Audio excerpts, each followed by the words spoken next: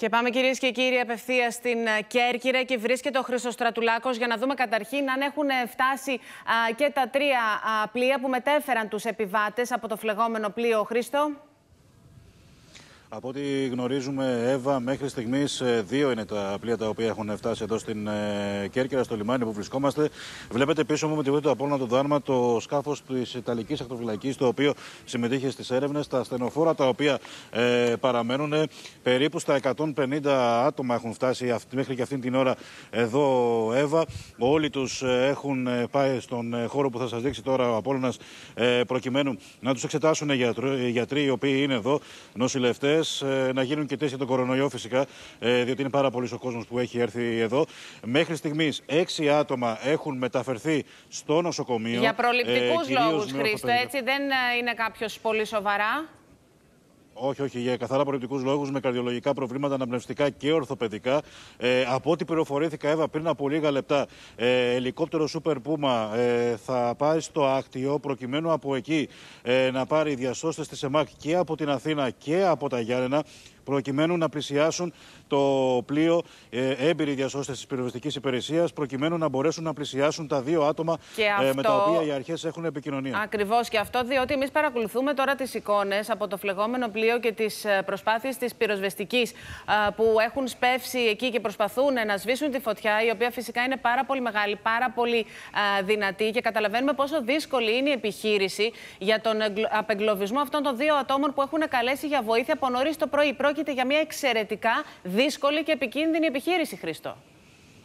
Ακριβώς γιατί είναι ένα φλεγόμενο ε, σκάφος το οποίο υπάρχει αυτή τη στιγμή Εύα, και οι οποίοι προσπαθούν να πλησιάσουν οι πυροσβέστες είναι πάρα πολύ επικίνδυνο.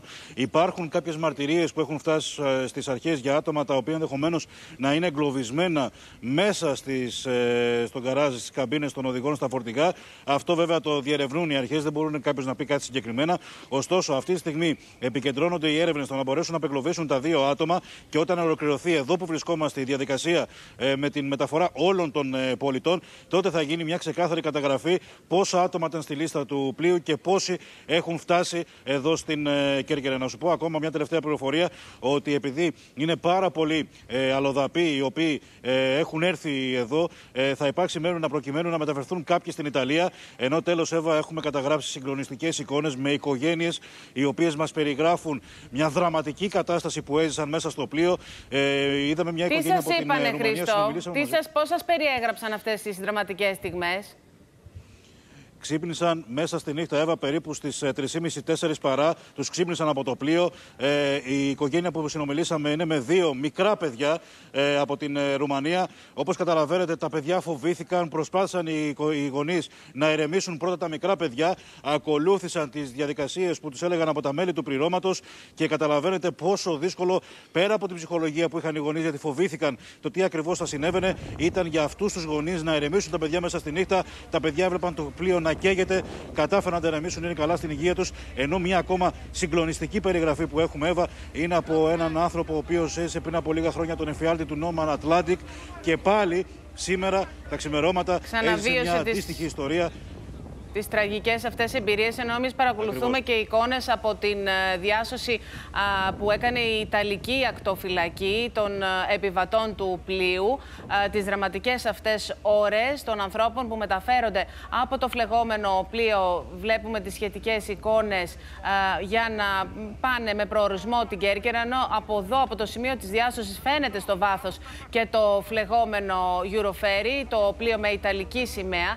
Ενώ άρα καταλαβαίνουμε ξέρουμε, Χρήστο, από το ρεπορτάζ και τις πληροφορίες ότι ακόμα δεν μπορούμε να γνωρίζουμε τον ακριβή αριθμό των αγνοούμενων, καθώς δεν έχει φτάσει η τρίτη βάρκα με τους επιβάτες. Οπότε τότε, στα τέσσερα σημεία εκεί που έχουν καθοριστεί στο λιμάνι της uh, Κέρκυρας, τότε θα μπορέσουν να κάνουν οι αρχές την uh, ακριβή καταμέτρηση για να γνωρίζουν πόσοι είναι οι αγνοούμενοι. Εκεί θα υπάρχει Εύα μια ξεκάθαρη εικόνα. Υπάρχει μια εκτίμηση με βάση κάποιες πληροφορίες που συλλέγουν και τα στελέχη του λιμενικού και της αστυνομίας που είναι εδώ, αλλά και η πολιτική προστασία ε, για άτομα τα οποία δεν έχουν, ε, ε φαίνεται, δεν έχουν δώσει κάποια σημεία. Ε, Ενδεχομένως μιλάμε για 12 άτομα. Έχουν καταγράψει τις περιγραφές που σας είπα λίγο νωρίτερα από οδηγούς ε, φορτηγών ότι υπήρχαν άνθρωποι μέσα. Και έτσι λοιπόν για να είναι σίγουροι περιμένουν να ολοκληρωθεί η διαδικασία για να δώσουν μια ξεκάθαρη εικόνα εάν υπάρχουν αγνοούμενοι με την ευχή βέβαια να μην υπάρχει κάποιος αγνοούμενος πέρα από τα δύο άτομα βουλγαρικής υπηκότητας, τα οποία προσπαθούν να προσεγγίσουν οι αρχές. Και για τους οποίους φυσικά ευχόμαστε να έχει αίσιο τέλος η επιχείρηση απεγκλωβισμού. Όπως είπα, μια πολύ δύσκολη επιχείρηση. Λοιπόν, Χρήστο, για οτιδήποτε νεότερο θα συνδεθούμε και πάλι μαζί σου. Σε ευχαριστούμε προς το παρόν.